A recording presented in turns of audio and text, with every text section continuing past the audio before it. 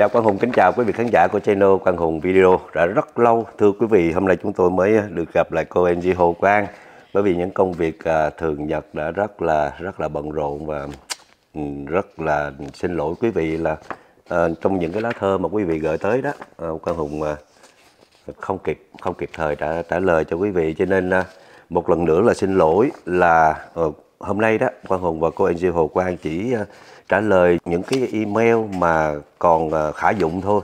Còn à, những cái email mà đã đã đã quá thời hạn đó đã nếu mà có trả lời thì cũng không còn giúp quý vị được thì cho Quang Hùng và cô Angie Hồ Quang xin lỗi nhé. Dạ, con chào cô. Dạ, chào Quang Hùng và xin kính chào quý vị à, à, đồng hương đang theo dõi chương trình à, YouTube An sinh xã hội của chúng tôi. Dạ, kính thưa quý vị và để không mất thời giờ, à, Quang Hùng à, gửi đến quý vị những câu hỏi mà có thể là trong đó đó. Um, có thể là không phải câu hỏi của quý vị nhưng mà uh, cái vấn đề trong đó đó là cũng như là để cho quý vị cũng ờ, đang tìm hiểu đó. Cho nên quý vị cũng chú ý nhé. Quang cảm ơn nhiều. Và thưa cô có một bức thư à, có một email gửi đến đó là ờ, tôi năm nay 62 tuổi và sẽ lấy hưu non hưu non vào tháng 6 năm 2024 này là 815 đồng một tháng khai thuế income hàng năm cùng với vợ. Vậy nếu tôi vẫn làm việc W2 thì tối đa tôi có thể làm là bao nhiêu để không bị thuế?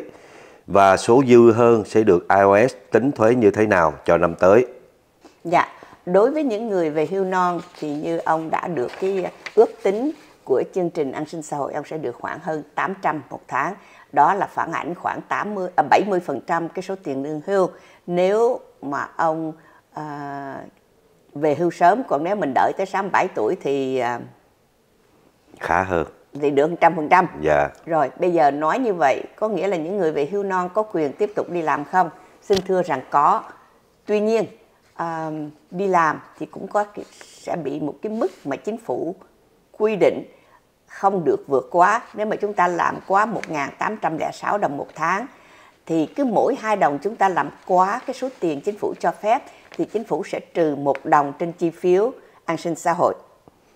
À, do đó à, khi mà mình đã quyết định về hưu thì quý vị nên để ý cái việc mà mình à, tiếp tục làm việc đó là cái số mà chính phủ quy định thì nếu mà mình à, làm việc tốt quá mình có cái số lương tôi lấy thí dụ số lương 60 ngàn một năm rồi mình nói ở thôi bây giờ muốn về hưu non kiếm thêm một à, kiếm thêm một chút tiền thì cái đó không không không không nên. Là tại vì cái số 60 ngàn nó cao quá sức so với cái số 1.800 một tháng. Thì như vậy người ta cứ trừ hai đồng trừ đồng hai đồng trừ đồng trừ cuối cùng cái mình không còn Không đồng còn nào nữa. ở trên cái chi phiếu hưu bổng an sinh xã hội.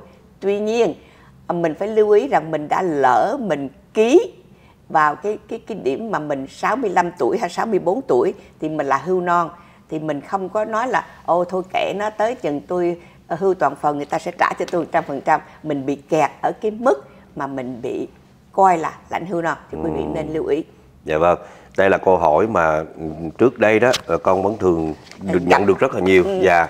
Ờ, có người người ta nói thế này, tất nhiên là thôi bây giờ tới hưu non thì thôi lãnh ờ, lãnh tiền hưu non đi, À. rồi tiếp tục làm, rồi nếu mà cứ như cô nói vậy đó là mỗi tháng là sẽ 1.806 đồng. À. thì không có bị trừ nhưng Đúng mà rồi. sau đó sẽ bị trừ. Thì kệ đi không sao.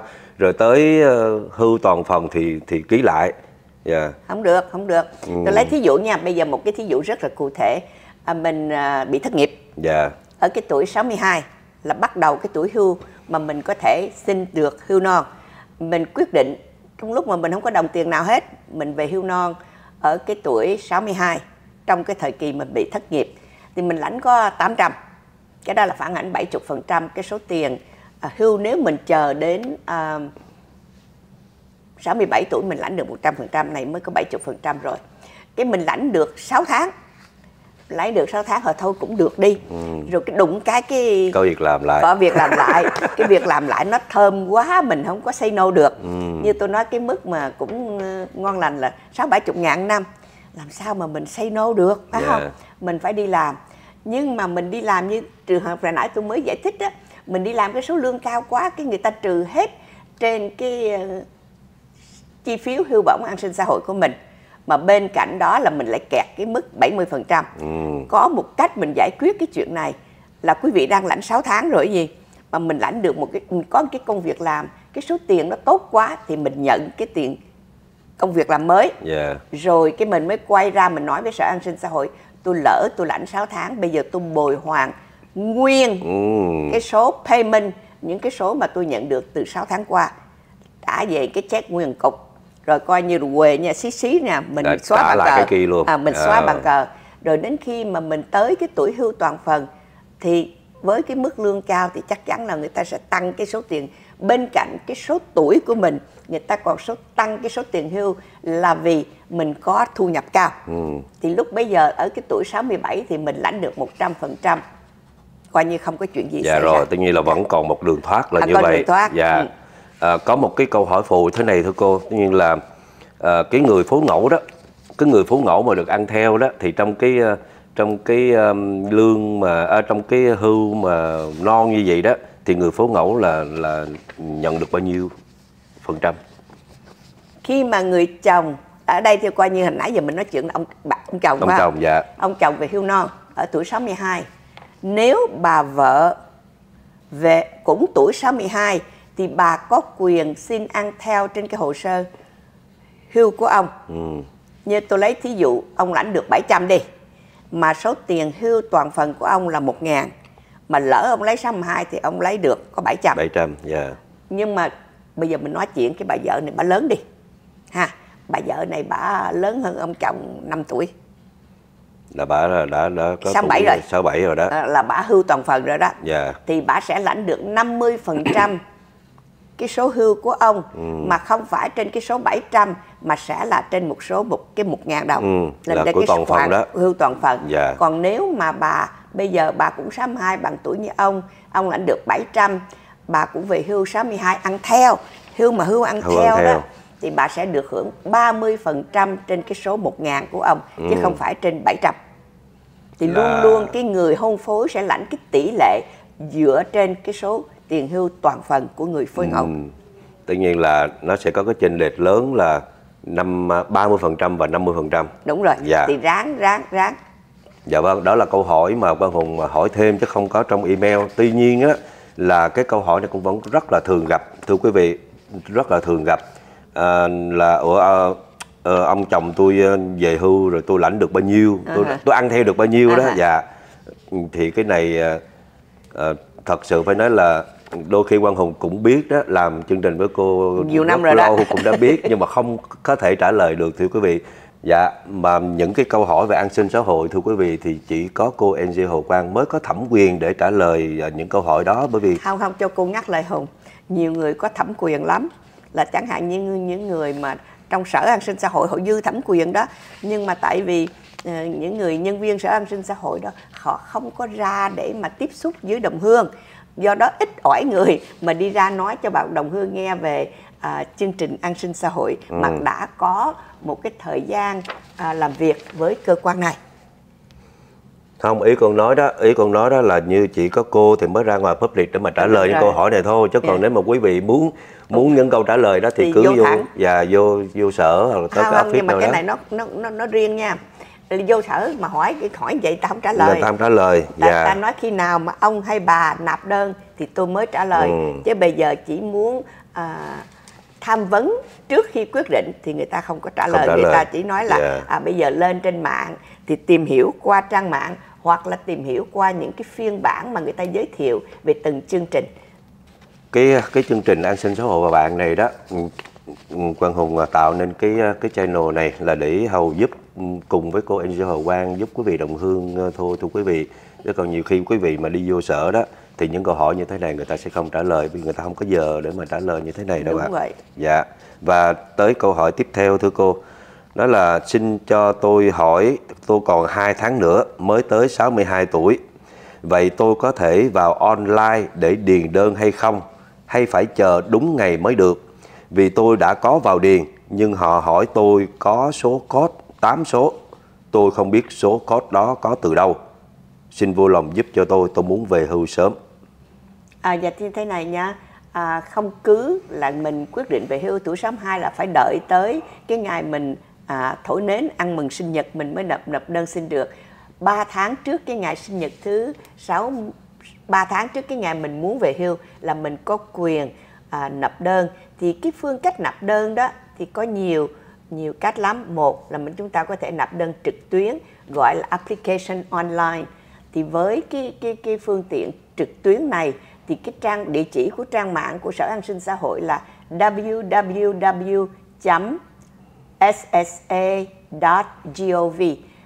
và thông thường thì người ta yêu cầu quý vị có một cái uh, social security account một cái chương mục an sinh xã hội.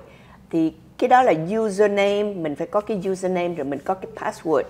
Thì thông thường đó quý vị nếu mà đã có cái social security account thì rất là đơn giản trong cái chuyện nạp đơn. Còn nếu không đó thì quý vị có thể vào cái trang mạng này rồi để là application for retirement benefits. Ừ. thì mình nạp đơn. Thì người ta yêu cầu mình có cái cái cái cái um, email address thì từ đó đó người ta gửi cho mình cái code để người ta cũng muốn biết là thật sự phải mình là mình không yeah. Dạ. hay là bây giờ thí dụ nhà đẹp trời tôi thấy uh, quang hùng uh, cũng trầm trèm cái tuổi cô xin lỗi nha con cũng gần rồi cô tròn tràm tuổi 60 cái mình mình cũng biết chút chút cái cách đọc đơn trực tuyến cái mình vô mình lấy mình chôm được cái số an sinh xã hội của quang hùng mình vô mình ghi người ta nói à có biết cái email address không nhiều khi mình cũng biết tại mình có giao dịch với ổng mình biết email address của ổng. Mình có cho cái email address nhưng mà người ta khi người ta gửi cái code là người ta gửi qua cái code email address ừ. của ổng. Thì có mình ổng quay được chứ mình sao tôi quay được? Và đây cái đó là cái cách để người ta kiểm chứng thật sự mình có phải là mình hay không. Dạ đúng rồi. Bởi vì uh, Quang Hùng nói rõ thêm cho cái câu hỏi này đó là um, chú đó vào điền nhưng mà người ta hỏi cái có 8 số này đó là có 8 số này người ta sẽ gửi qua cái email của chú. Chú phải check email. Và chú phải check email rồi chú mới điền có 8 cái số này rồi chú mới điền vô cái tiếp, đơn đó. tiếp dạ. bây giờ thì nói thêm cái chuyện mà cái cách nào nữa để mình có thể nạp đơn uh, xin hưu non là mình có thể làm hẹn. Gọi số 1800 772 1213 để làm hẹn thì cái khi mà mình gọi được cái số 1800 đó nếu mà mình cảm thấy thoải mái để giao dịch với sở an sinh xã hội bằng anh ngữ thì mình không nói gì hết. Mình nói tôi chỉ muốn xin cái hẹn để tôi à, nạp đơn xin hưu non. Còn nếu mình cảm thấy thoải mái hơn khi mình sử dụng việt ngữ thì à, nếu mà mình nói được nhiều thì mình nói tôi yêu cầu được phỏng vấn bằng tiếng việt. Còn nếu mà mình uh, muốn cho nó gọn nhẹ mà mình uh, thể hiện cái ý muốn mình chỉ nói một câu rất gọn Vietnamese please ừ. thì người ta sẽ biết là giờ đó mà lưu ý là thông thường bây giờ sở an sinh xã hội khi cho mình vào sở vào văn phòng để mà mình được phỏng vấn mà người ta sẽ cho mình cuộc hẹn và sẽ gọi điện thoại cho mình ở cái giờ hẹn ngày hẹn đó yeah. Dạ. thì quý vị lưu ý nhiều khi quý vị chạy lên cô ơi cô người ta hẹn tôi mà sao không ai kêu ngồi yên tâm chờ người ta sẽ kêu đúng giờ nhiều vị miss cái appointment là trật cái cuộc hẹn của mình vì mình quên không chờ điện thoại của nhân viên sở an sinh xã hội. Dạ. Yeah. Dạ vâng, kính thưa quý vị, đó là đó là câu trả lời cho cái email vừa rồi. Thì à, nếu mà quý vị à, có thể à, quý vị à, có thể gọi đến số 1800 772 1213 để uh, lập cuộc hẹn. lập một cuộc hẹn có thể là nói bằng tiếng Việt cũng được thưa quý vị. Bởi vì uh, theo con biết đó cô như bây giờ trong sở sinh xã hội rất rất là nhiều có nhiều việc làm. có nhiều dạ. nhân viên nói tiếng Việt. Dạ. Dạ, dạ quý vị yên tâm nhé cứ uh, gọi lên đó. Còn cái uh, lan man nữa nè đó là cái cái account của an sinh xã hội đó thưa quý vị. Đây là một vấn đề mà cô cô anh Hồ Quang nhắc đi nhắc lại rất là nhiều lần. Và trong cái cái channel của Quang Hùng cũng đã có để cái um, cái cách mà tạo cái uh, cái account của an sinh xã hội thật sự nó rất là tiện lợi thưa quý vị nó rất là tiện mình có thể mình vô coi lúc nào cũng được check đủ thứ trong đó có thể là có ước tính của cái uh, cái số cái tiền, mình nhận được yeah. Dạ. và quan trọng nhất là cái đó thưa quý vị lứa tuổi khác dạ. nhau cũng Nhiều như khi... anh này đó kính thưa quý vị anh này ảnh uh, cũng nói là cũng uh, ham nghĩ tới cái chuyện mà về hưu sớm tại cái cái hai ba tháng anh chạy vô anh coi coi cái tiền hưu của ảnh người ta ước tính có lên hay không. Thì cái đó là một cách. À, còn những người mà nó ủa quên rồi tôi như tôi tôi lãnh tiền hưu rồi.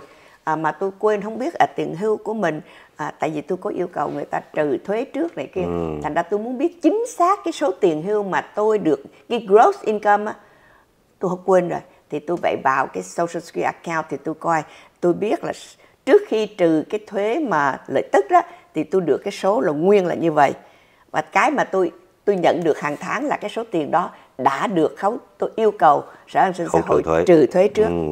Dạ vâng, nó rất là tiện lợi thưa quý vị và rất là chặt chẽ nha. À, mà biết luôn là mình rủi mình chết giữa chừng vợ con lãnh được nhiêu nữa. Dạ, được nhiêu cũng như là trong đó đủ thứ hết nhưng mà rất là an toàn thưa quý vị. Đôi khi đó, đôi khi uh, Quang Hùng uh, quên cái uh, cái cái password đó. Uh-huh là khi mà con ờ, con request lại cô không có trả lời qua email nha. Trả lời bằng thư. Đúng chính xác là là mình người ta mới mới mới, mới dạ. Cách đó là cách người ta kiểm tra nhá dạ rồi à, qua hôm tiếp tục tới cái ờ, email tiếp theo. Và tới cái email tiếp theo đó là cho em xin hỏi mẹ em bị cắt Medicaid à,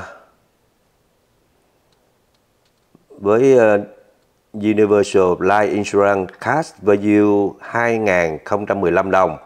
Như vậy mình có thể làm gì để reduce or cancel life insurance để được quality for Medicaid? See Aslo ờ, Receiver SSA 400 đồng. Rồi thế này nhá. À, hình như cái trường hợp này là vị tính giả này có vừa an sinh xã hội vừa SSI. Dạ. Cái số hưu là khoảng 400 mà vì cái khoản tiền hưu 400 nó ít hơn cái 943 là cái chi phiếu SSI hiện nay. Nhờ vậy, người này có thêm SSI và một khi có SSI thì có thêm Medicaid.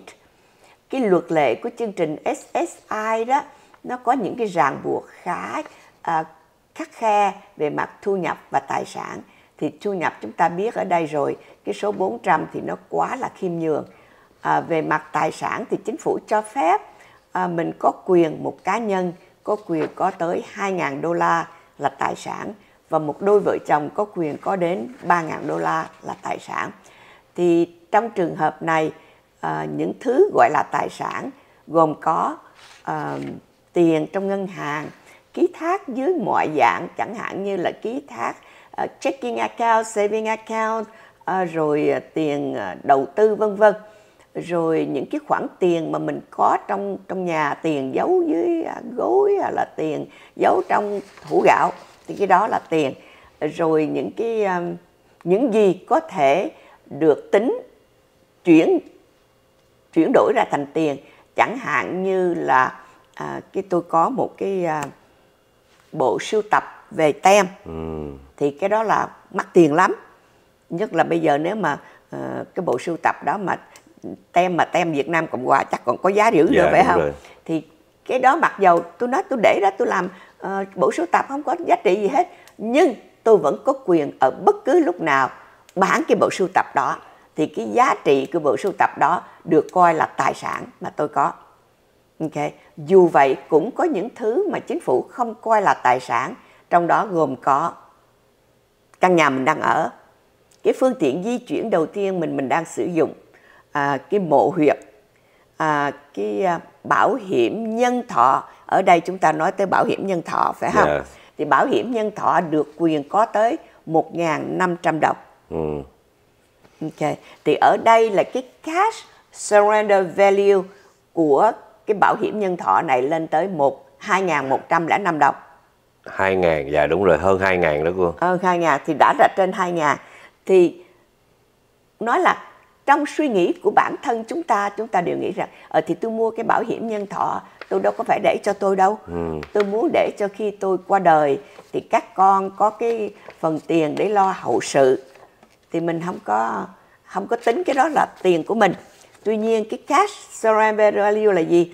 Là hàng tháng chúng ta đóng cái bảo phí của cái à, bảo hiểm nhân thọ này thì cái công ty bảo hiểm họ dùng cái tiền của mình để họ đầu tư, đầu tư rồi, rồi khi họ lời họ chia lại cho mình cái đó cash surrender value có nghĩa là hồi, hồi tôi còn trẻ thì quan hỗn tử tế nó nói cô già con nuôi cô. Rồi ta mua cái bảo hiểm nhân thọ ta để Cho tên con. cho con rồi cái càng ngày nó tôi, tôi càng già tôi càng yếu cái hình như là nó hất hủi tôi. Tôi giận quá tôi nói thôi kệ nó ta có hai ngàn tôi thấy là hai ngàn ta xài.